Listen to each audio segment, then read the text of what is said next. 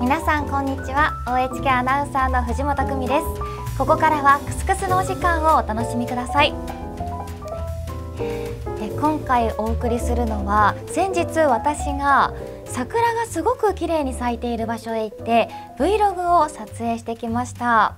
もうね今お花見シーズンが少し過ぎて散り始めている場所が多いんですけれどもその綺麗に咲き誇っている様子を見ていただけたらと思います。私自身今年はお花見ができていなかったですし、まあ、コロナ禍ということもあってお花見ができなかったという方いらっしゃると思います。この VTR を見て少しでも桜綺麗な様子を見て楽しんでいただけたら嬉しいです。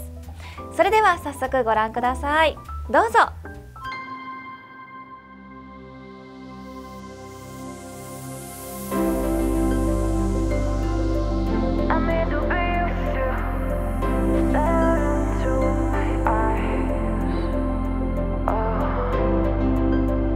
はい、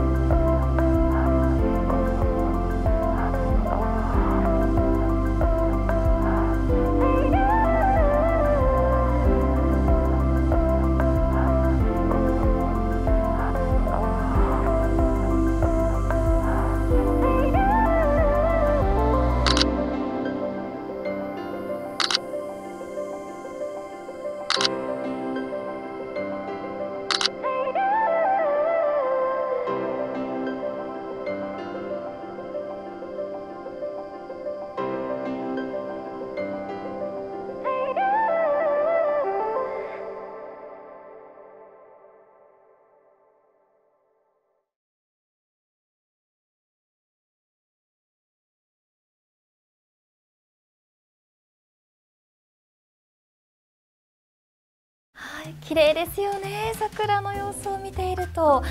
ここは岡山市南区。奈良崎にある場所へ行ったんですが本当に美しくて満開は少し過ぎてちょっとね散り始めていたんですがまたその桜吹雪がすごく美しかったんですよ。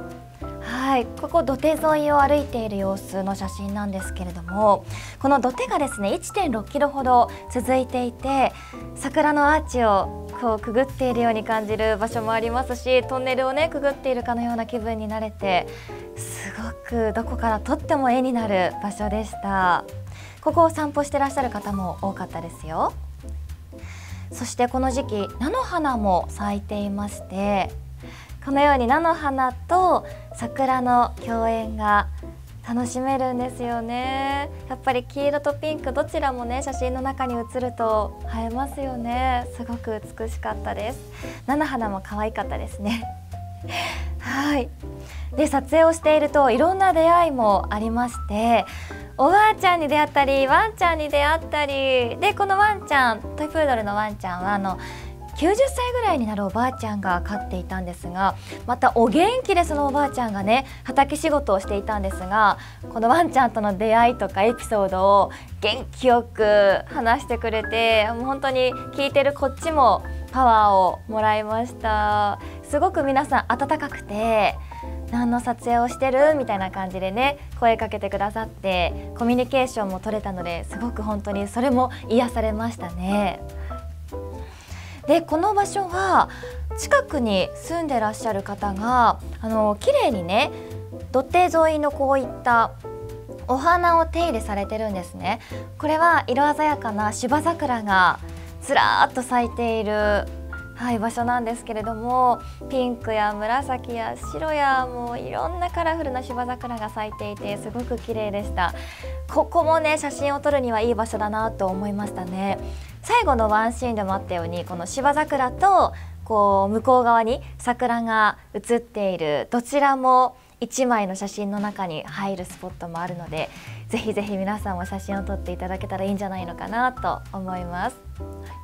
で最後あの帰ろうと思ったらですね一緒にこのディレクター言っていた Vlog を撮影してくれたディレクターの男の子の頭の上に桜の花びらがちょんちょんって綺麗に2枚乗っていてみんなではい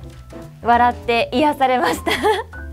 ほっこりしました最後の最後で。桜って本当になんかこう心穏やかにしてくれますよね。あの優しい色合いの風合いのピンクと咲き誇っている可愛らしい様子がねすごく素敵ですよね。少しでもお花見をした気分になってくださっていたら嬉しいです。これからの Vlog もシリーズとしていろんな場所に行けたら嬉しいなと思っているのでぜひぜひ楽しみにしておいてください。今日もクスクスのお時間にお付き合いいただいて本当にありがとうございました。また次回クスクスのお時間でお会いしましょう。それではまたバイバーイ。